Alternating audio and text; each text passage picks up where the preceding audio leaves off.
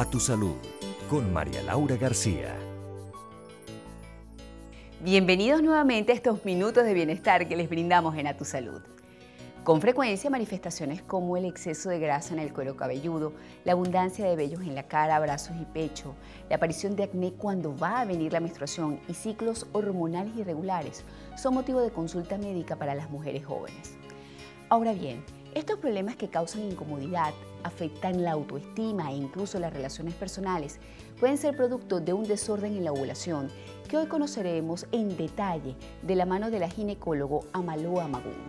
La especialista nos explicó que el primer paso a seguir en estos casos es realizar a la paciente un perfil de hormonas masculinas o andrógenos.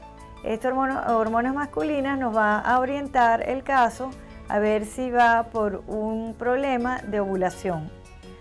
Este problema de ovulación es lo que se llamaba antiguamente ovario poliquístico y hoy en día está definido como síndrome anovulatorio crónico. Hay varias escalas para esta enfermedad y básicamente es tratar el problema de regular los ciclos, de evitar de que le salga exceso de vello corporal y el acné prácticamente una vez que uno pone el tratamiento queda resuelto. Otro problema a resolver es cuando la paciente desea quedar embarazada. Como bien les dije antes, saben que es un problema de ovulación, es decir, que hay meses que ovula y puede ser que hay meses que no esté ovulando bien. Entonces el tratamiento, si ella desea quedar embarazada, ya sería de hacer una estimulación suave de la ovulación y así podríamos controlar la fertilidad.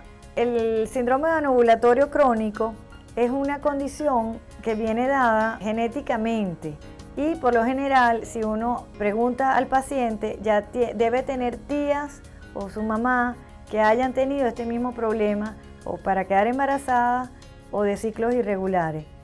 Entonces, una vez que uno le pone el tratamiento, el tratamiento sí ya es crónico porque si lo deja, vuelven a caer en, en este ciclo porque el ovario vuelve a caer en su problema de anovulación.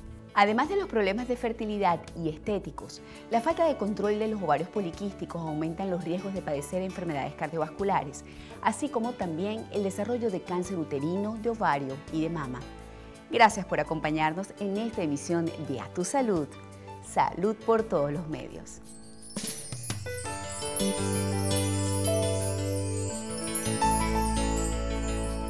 A Tu Salud con María Laura García.